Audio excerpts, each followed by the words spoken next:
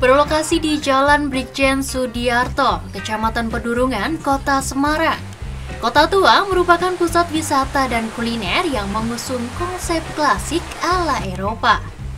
Tempat ini menjadi tujuan yang tepat untuk refreshing dan jalan-jalan bersama orang tersayang.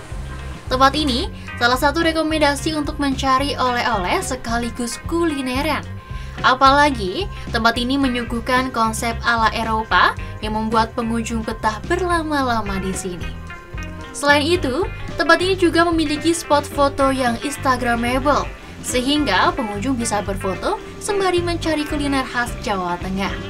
Dengan harga tiket masuk Rp15.000, pengunjung sudah bisa menikmati spot foto sepuasnya.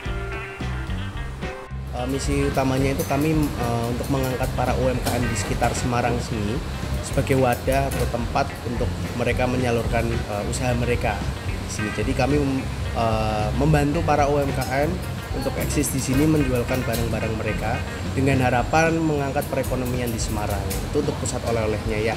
F&B sendiri ini kami mengusung konsep dengan bangunan ala-ala Eropa ya tentunya ya. Mm-hmm. Sini bisa dilihat juga bangunan-bangunannya khas Eropa gitu.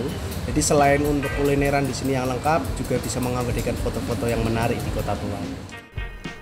Untuk masuk ke Kota Tua, pengunjung tidak dikenakan biaya atau gratis.